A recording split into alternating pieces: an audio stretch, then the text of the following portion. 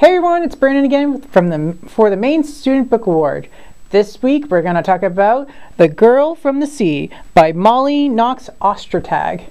This is a YA graphic novel coming of age GBTQ plus novel. This is good for 5th through 8th grade. It follows a high school girl, um, young girl named Molly. She's in the closet and hasn't told anyone about her sexuality or who she likes um, to her family or friends.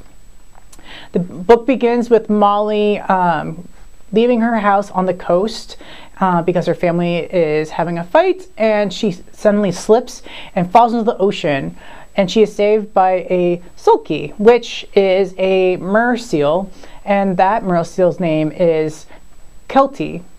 Keltie uh, and Morgan kiss, and Morgan thinks this is all a dream until the next day, Keltie shows up and is like, We're dating! Yay! um, so Morgan is trying to balance dating Keltie, but also figuring out when it was a good time to come out uh, to her friends and family. But Keltie is also being very secretive towards Morgan because she is on shore because she has a mission. Um, so come check out this book and see what mission Keltie's on. If this book is not available in the teen department, we have some book recommendations for you. I have Skin of the Sea by Natasha Bowen. All the Stars and Teeth by Adalyn Grace.